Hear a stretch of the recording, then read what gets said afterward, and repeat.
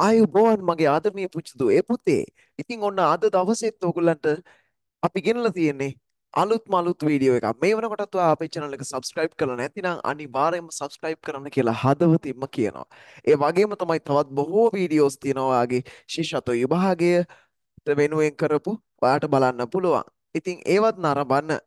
ඉතින් අද දවසේ දෙමළ ජාතීන්ගේ ආහාර පාන ගැන කතා කරන අතරේ අපිට හම්බෙන දෙයක් තමයි මෙන්න මේ වගේ ලස්සනම ලස්සන පන්තියක්. ඔන්න අපේ පන්තියට වාට එන්න පුළුවන්.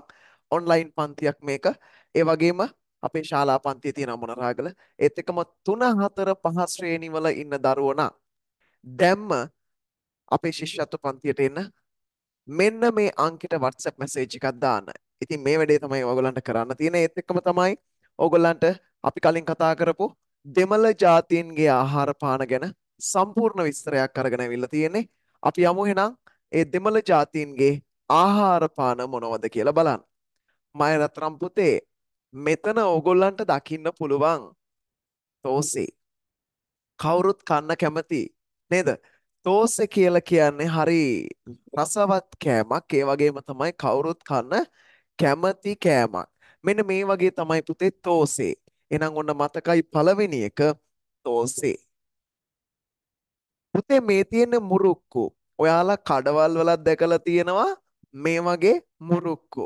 ඉතින් හරි රසවත් මේවා. ඉතින් පුතේ මේවා දැන් ඔයාලට හිතෙන්න පුළුවන් මම අර කලින් වීඩියෝස් වල කිව්වා වගේම සිංහල ජාතීන් ආහාරයට ගන්නේ නැද්ද? එතකොට මුස්ලිම් ජාතීන් ආහාරයට ගන්නේ නැද්ද?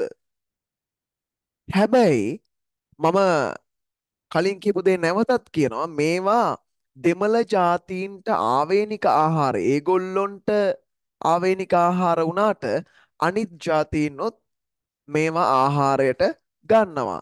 මොකද ආහාර කියන්නේ ಜಾති ભેද ආගම් නැතුව කර අපිට ආහාරයට ගන්න පුළුවන් දෙයක්නේ. ඕනම ආහාරයක් නේද? එතකොට අපි කලින් කතා කරපු තෝසේ ඊට පස්සේ මුරුක්කු දැන් ඊළඟට මොනවද කියලා බලන්නකෝ. මේ වඩේ කවුරුත් කන්න කැමතිනේ මේක.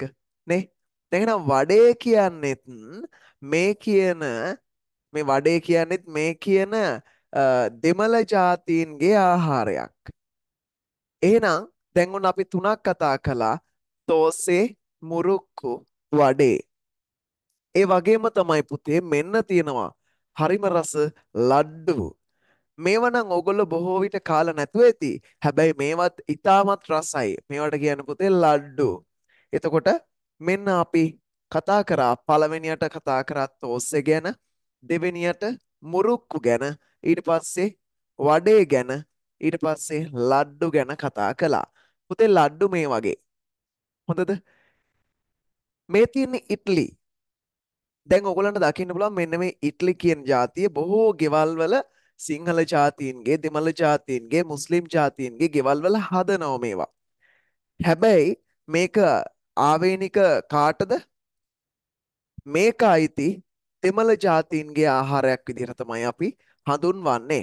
එතකොට ඔයගොල්ලෝ ඉගෙන ගන්නේ ඉටලි කියලා කියන්නේ දෙමළ ජාතීන්ගේ ආහාරයක්. මේ සම්පූර්ණ විස්තරය බලන්න. එතකොට තමයි ඔයාලට මේක හරින් පැහැදිලිව තේරෙන්නේ. මේ තියෙන්නේ මම පුතේ සාම්බාරු හොදි.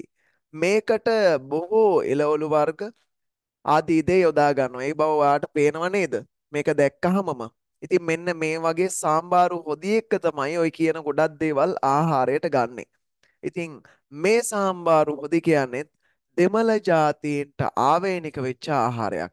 ඒගොල්ලෝ ගොඩක් වෙලාවට ආහාරයට ගන්නවා මේ සාම්බාරු හොදි. ඉතින් මම හිතනවා මේ දෙමළ ජාතීන්ගේ ආහාර ගැන ඕගොල්ලෝ හොඳින් ඉගෙන ගත්තා. මේ ටික මතකයි. මම නැවතත් ඕගොල්ලන්ට ආපස්සට ගෙනියන්නම්. සාම්බාරු හොදි ඒ වගේම ඉට්ලි ලඩ්ඩු වඩේ මුරුක්කු තෝසේ. ඉතින් මෙන්න මේ ටික තමයි ඕගොල්ලන්ට තියෙන්නේ. ඒත් එක්කම ඕගොල්ලන්ට පුළුවන් අපේ ශිෂ්‍යත්ව පන්තියට සම්බන්ධ වෙන්න. මෙන්න මේ 071යි 8යි 8යි 9යි 9යි 6යි 6යි 3 කියන අංකෙට WhatsApp message එකක් දාන්න. එහෙනම් අපි ගිහිල්ලා එන්නම්. තවත් දවසක හම්බ වෙන බලාපොරොත්තු වෙමින් මේ විදියට සමෝර ගන්නවා. තවත් ලස්සන වීඩියෝ එකකින් හම්බෙන්න. බලාපොරොත්තු තියාගෙන.